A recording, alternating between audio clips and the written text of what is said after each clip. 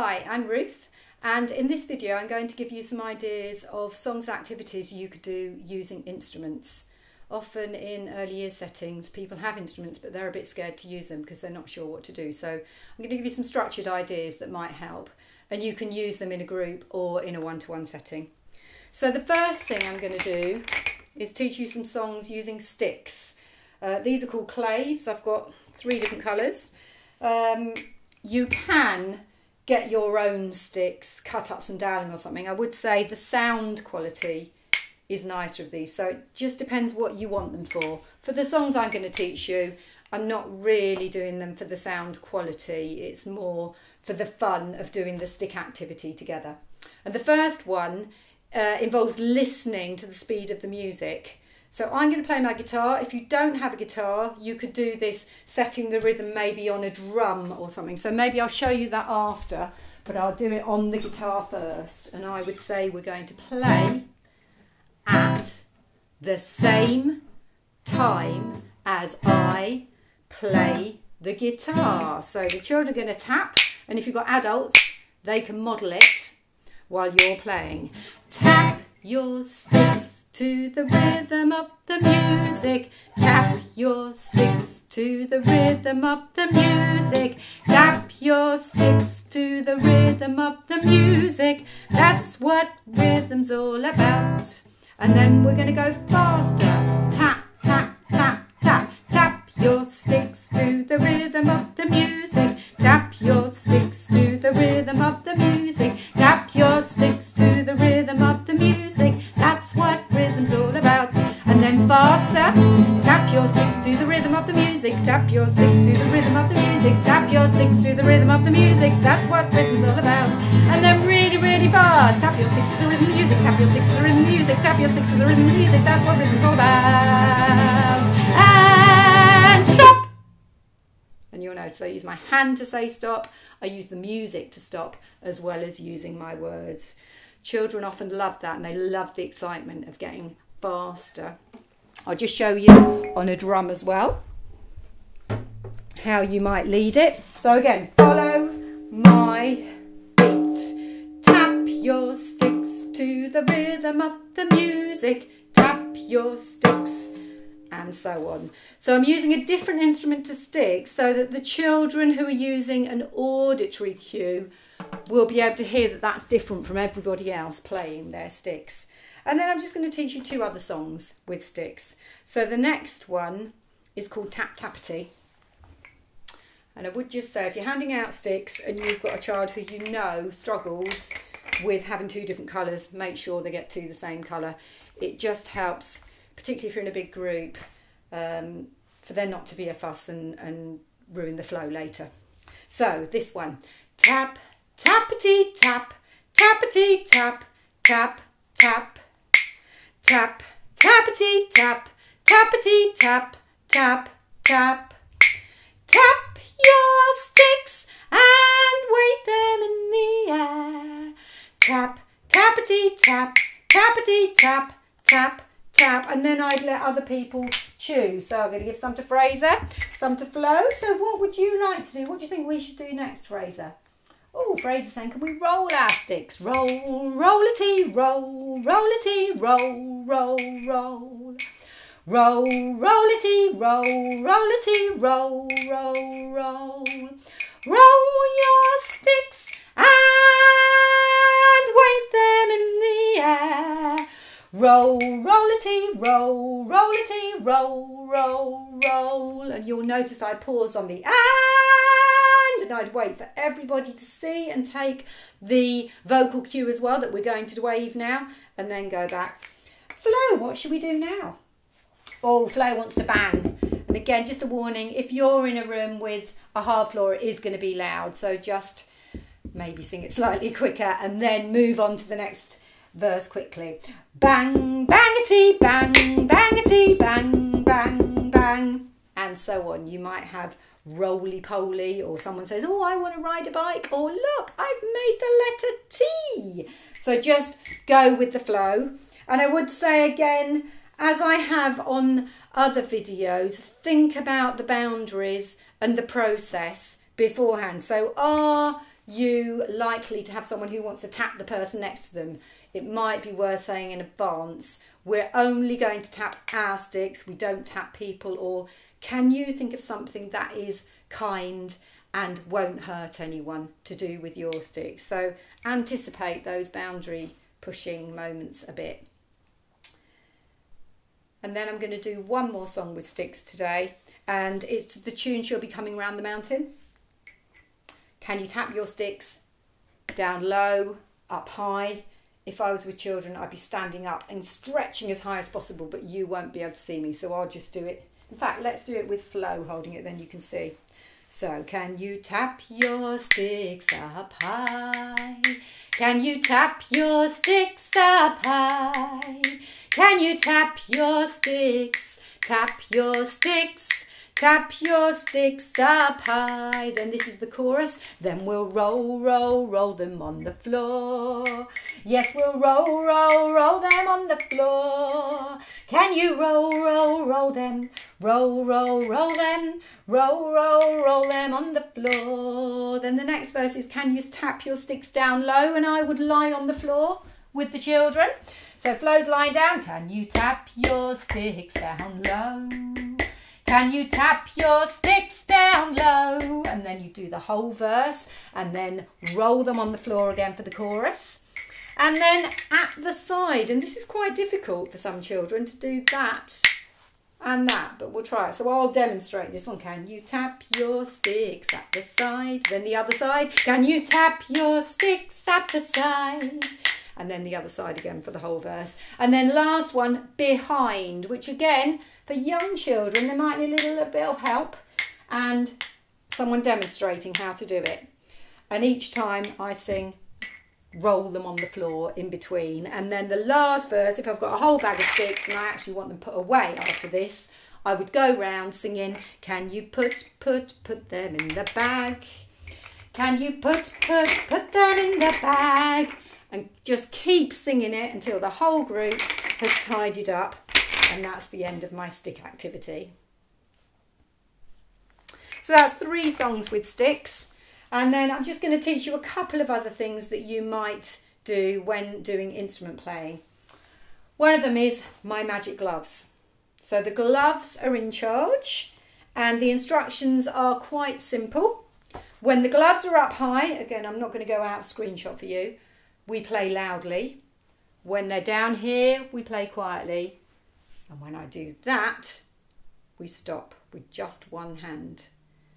So I demonstrate it and I don't move too quickly because it's really hard to go loud, quiet. Some children go like this and you can't follow it. So again, always model how you want it done. And then I would choose someone and say, okay, it's your turn to be in charge now. So I give the gloves to Fraser. Oh, Fraser doesn't really like itchy feelings. So I'm going to say to him, it's okay to just hold them, Fraser.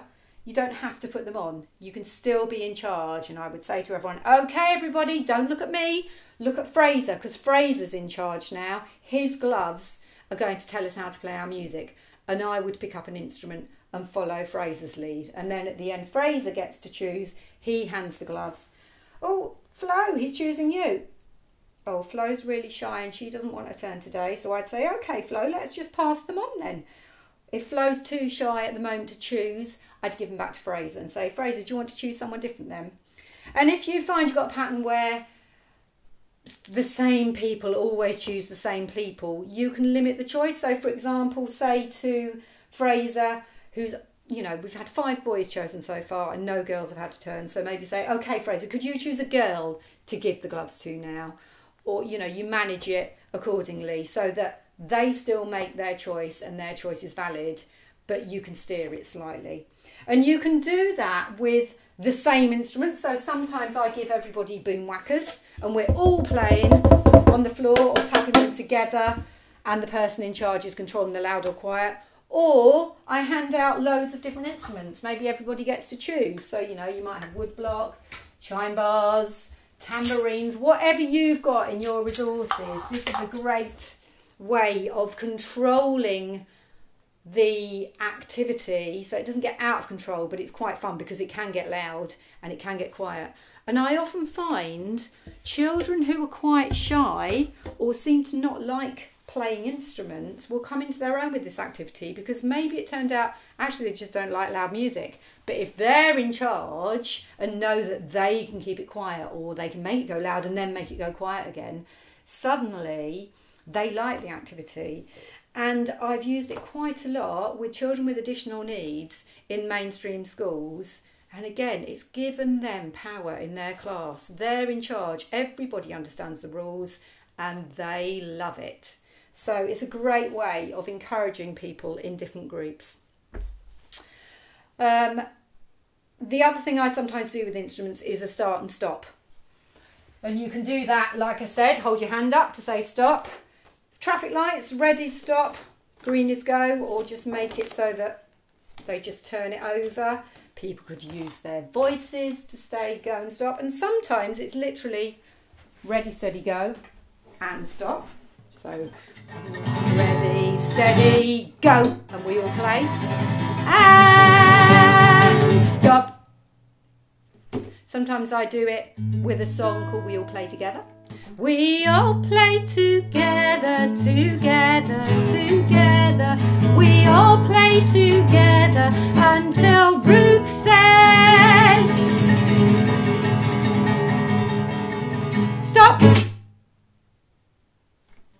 I can say, okay, it's somebody else's turn to say stop now. So at the end, we're going to listen to Fraser and we're going to watch his hand. He's going to use his hand to say stop mm. and we do it again. And then when Fraser shouts or says stop, then we stop.